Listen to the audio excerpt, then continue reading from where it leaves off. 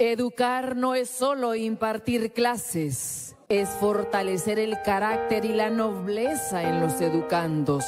Esta es una celebración muy merecida. Tener un título universitario en nuestro país y sobre todo un título de maestría representa ser parte del 0.5% de la población de hondureños que alcanzan este nivel educativo.